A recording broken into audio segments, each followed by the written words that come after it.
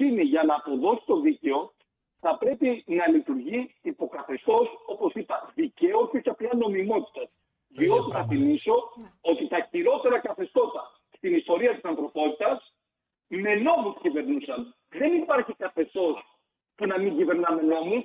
Από τον Χίτλερ μέχρι τον Κιμ Jong Un στη Βόρεια Κορέα, νόμου φτιάχνουν και κυβερνούν. Η νομιμότητα αυτή δεν έχει καμία θέση ούτε με δημοκρατία, ούτε με, ούτε με δικαιοσύνη, ούτε με ηθική. Οπότε καλό είναι και πρέπει σε μια δημοκρατία η ηθική, το δίκαιο και το νόμιμο να συμβαδίζουν, να συμφωνούν πλήρως. Όταν όμως δεν συμφωνούν, το δίκαιο και το ηθικό είναι υπεράνω της νομιμότητας. Ωραία. Ε, για να δοθεί άλλη μια φορά αυτή η απάντηση και προς τον κόσμο. Οι συνάδελφοί σας που είχαν το ακαταδίωκτο και καθημερινά πίεζαν με αυτές τις εμφανίσεις τους σε, στα, στις, στα κανάλια της λίστας Πέτσα, προτρέποντας τον κόσμο να εμβολιαστεί. Κάποιοι ήταν οι καλοί, κάποιοι ήταν οι κακοί. Τα ξέρετε εσείς για τους καθηγητές. Δεν θέλω να ε, αναφέρω ε, ονόματα. Πείτε τα εσείς τα ονόματα. Ήταν ο κ. Τζανάκης, ήταν η κυρία Παγώνη, ήταν όλοι αυτοί οι άνθρωποι οι οποίοι είχαν γίνει καθημερινοί τηλεμαϊντανοί και προέτρεπαν τον κόσμο. Τώρα λοιπόν μετά από αυτά τα οποία είπε και ο Γερμανός Υπουργός Υγείας αλλά και ο κύριος Bill Gates που είπε ότι είχαμε υπερεκτιμήσει τον ιό βλέπετε κάποια αναδίπλωση ούτως ώστε να καλύψουν τα νότα τους.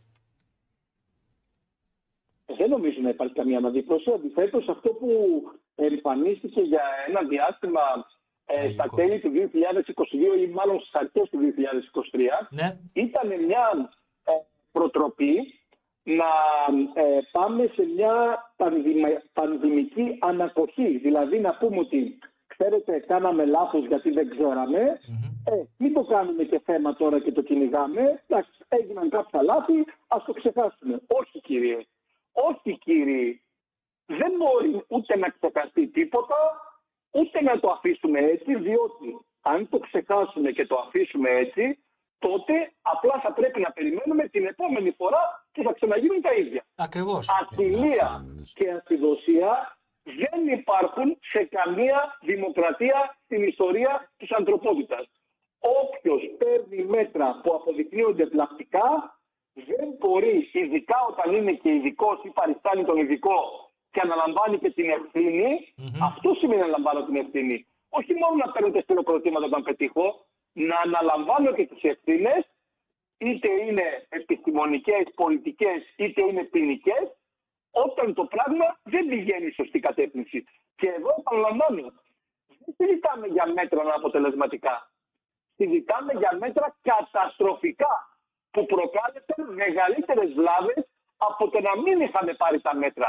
Αυτό δεν μπορεί να συνεχίσει σε καθεστώς αστιδοσίας, ακαταδίωκτου, ακαταλόγιστου και ε, μη λογοδοσίας. Ε, Παναγιώτη, πάρε, πάρε το λόγο και... Μία ερώτηση να κάνω, επειδή έχουμε μιλήσει πολλές φορές πάνω σε αυτό το θέμα. Ε, ήσασταν από τους πρώτους που βάλατε το ζήτημα, ενώ ήσασταν τεχνοκράτες και δεν είχατε ε, δημόσια και ενεργά θα έλεγε κανείς ε, ασχοληθεί με την πολιτική.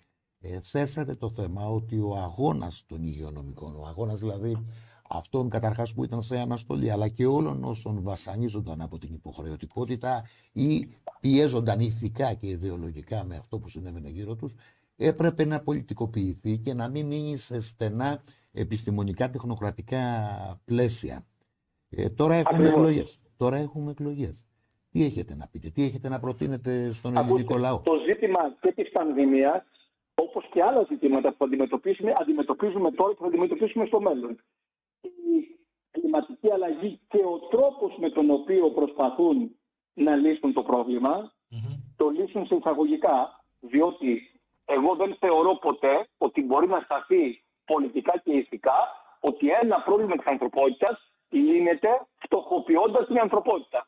Διότι αυτό που συμβαίνει και οι προτάσεις που γίνονται και σε πολιτικό επίπεδο και σε επιστημονικό, άλλη ντροπή η επιστήμη της κλιματικής αλλαγής εδώ, δεν είναι μόνο η ιατρική στο ζήτημα της πανδημιας Αυτά που προτείνονται είναι οριζόντια στοχοποίηση της κοινωνίας. Θα σας πω κύριε Μαντά χαρακτηριστικά τρία μέτρα που έχουν ήδη ψηφιστεί από την Ευρωπαϊκή επειδή Ένωση. όμως Προσέξτε, ο- ο χρόνος- Εδώ μιλάμε για τετελεσμένα που απλά θα εφαρμοστούν στα επόμενα χρόνια. Και δυστυχώς πάρα πολλοί πολίτες δεν τα γνωρίζουν διότι δεν συμβαίνουν σήμερα για να τους απασχολήσουν σήμερα, αλλά είναι ψηφισμένα. Και ξέρετε, έκανα μια ερώτηση για αυτά τα μέτρα σε πέντε υποψηφίους ενός μεγάλου κόμματος, ενός από τα τρία κόμματα, σε μια εκδήλωση στο Twitter ε, ζωντανή και η απάντηση που έλαβα, θα σας την πω μετά αφού σας πω τα τρία μέτρα, ε, ήταν απογοητευτική. Λοιπόν, η Ευρωπαϊκή Ένωση εν μέσω της επιθυμητική κρίσης και της κρίσης ενέργειας ψήφισε πριν από λίγους μήνες Ναι. νόμο να μπει νέος φόρο στα κάψιμα. Όχι μόνο για τις μετακινήσεις αλλά και για τη θέρμανση από το 2027. Με σκοπό να αντλήσει 61 δισεκατομμύρια ευρώ το χρόνο. Προσέξτε. Με 2 ευρώ τη βενζίνη να βάλουμε κι άλλο φόρο και με 1,30 πόσο είχε το πετρέλαιο θέρμανση να μπει και επιπλέον φόρος σε αυτά. Πρώτα-πρώτα, Από το 2027. Το δεύτερο είναι ότι από το 2028 ή 2029 θα πρέπει να αναβαθμιστούν όλα τα κτίρια ενεργειακά σε επίπεδο ε και από το 33 σε επίπεδο D. Αυτό σημαίνει, κύριε Μαντά, ότι ένας ιδιοκτήτης, δεν μας έχουν πει βέβαια ποιες θα είναι επιπτώσεις ακόμα, αλλά είναι ολοφάνερο, δεν θα μπορεί ούτε να νοικιάσει, ούτε να εκμεταλλευτεί και ίσως Θα- ούτε και θα να πρέπει μένει μέσα στο να σπίτι. το στο δώσει σπίτι, στην τράπεζα. Θα- αν θα δεν πρέπει να το δώσει στην τράπεζα. πληρώσει από την τσέπη του, αν δεν πληρώσει από την τσέπη του. Δηλαδή, να ξαναπληρώσει το ακίνητο που Ακριβώς, αγόρασε ακριβώς. και να το αναβαθμίσει ενεργειακά. Ακριβώς. Προσέξτε, προσέξτε με ποιο τρόπο υφαρπάζουν τις περιουσίες των πολιτών, της κοινωνίας. Θα τις υφαρπάξουν, διότι όπως καταλαβαίνετε, ένα κτίριο που δεν έχει αναβαθμιστεί ενεργειακά και να θέλει κάποιος το πουλήσει, περισσότερο θα το σκοτώσει, όπως λέμε λαϊκά στη- ε, σε εισαγωγικά, παρά θα το πουλήσει.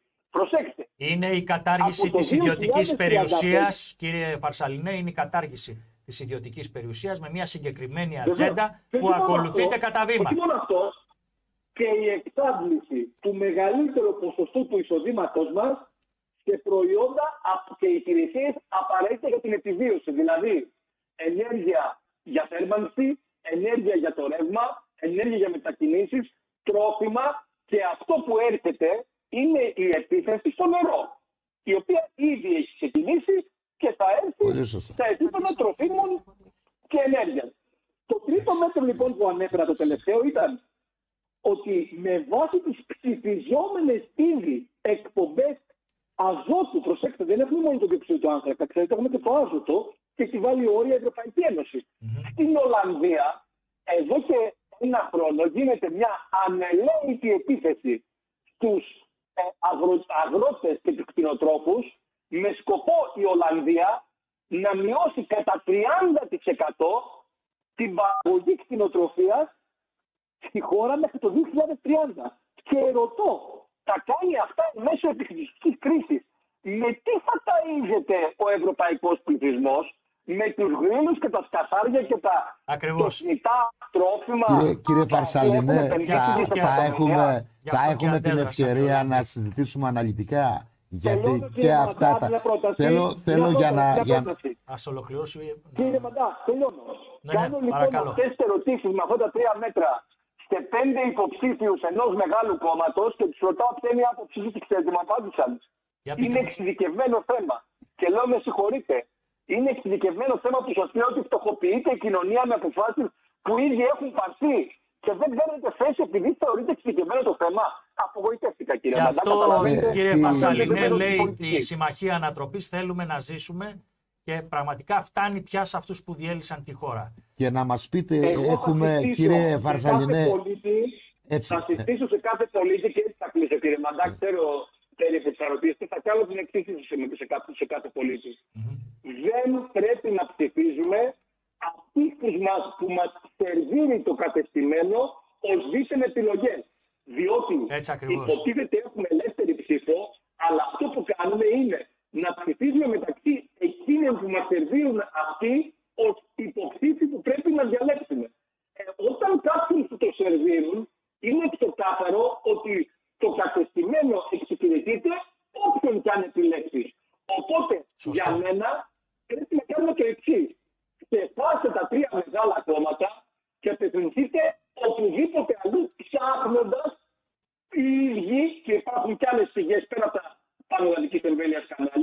κανάλια να δουν θέσει, απόψεις και στάση του καθενός και τα προηγούμενα χρόνια και τι θα κάνει αύριο.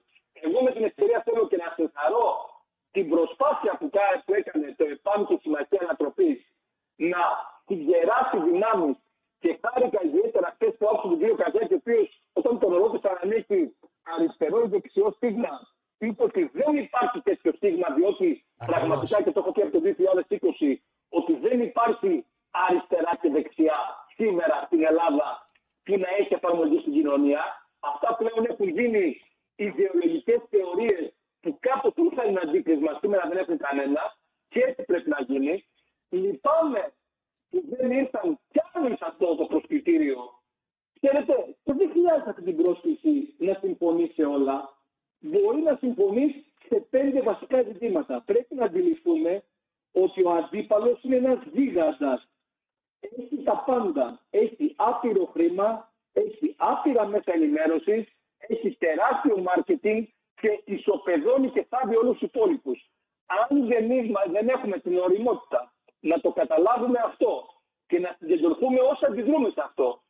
Κάτω από μία στέγη με κάπου 5-10 βασικές συμφωνίες σε 10 βασικά πράγματα, χωρίς να συμφωνούμε σε όλα, τότε δεν καταλαβαίνουμε ποιο είναι το διακύβευμα και ποιον έχουμε ως αντίπαλο. Παρ' όλα αυτά, υπάρχουν και άλλες δυνάμεις εκτός της Συμμαχία Ανατροπής που είναι αξιοπρεπείς, με ηθικούς ανθρώπους εγώ προτείνω σε όλους, για οποιοδήποτε λόγο μπορεί να με θέλει να ψηφίσει Μαγεία Ανατροπής, τουλάχιστον τι να μην ψηφίσει. Μακριά από τα τρία μεγάλα συστημικά κόμματα, τα οποία είναι δυστυχώς και σας ακούγεται ε, έτσι ακραίο, mm-hmm. ή εκφράζουν ακριβώς το ίδιο νεοφιλελεύθερο αφήγημα και όποιες διαφορές υποτίθεται παρουσιάζουν είναι για τα μέτρα του κόσμου, όπως λέμε. Είναι δίθεν για να δημιουργήσουν μια πόλωση χωρίς κανένα πραγματικό κοινωνικό αντίκρισμα. Το απέδειξαν με την άθλια, θα έλεγα, στάση τους σε όλα αυτά τα ζητήματα που συζητήσαμε. Κύριε Φαρσαλινέ, θέλω να σας ευχαριστήσω πάρα πολύ για όλη την παρουσία σας και μάλιστα Εγώ σας παρακολουθούσα... Εύχομαι καλή επιτυχία σε όλους στις εκλογές και εύχομαι να θυμηθεί ο Έλληνας πολίτης ότι μετά την αποχώρηση από την κάλπη, που δεν λάθος αναγνωρίζεται. Πολύ σωστό. Να το σκεφτεί πάρα πολύ καλά την ώρα που το ψηφίζει. Σας ευχαριστούμε πάρα πολύ για την παρουσία σας.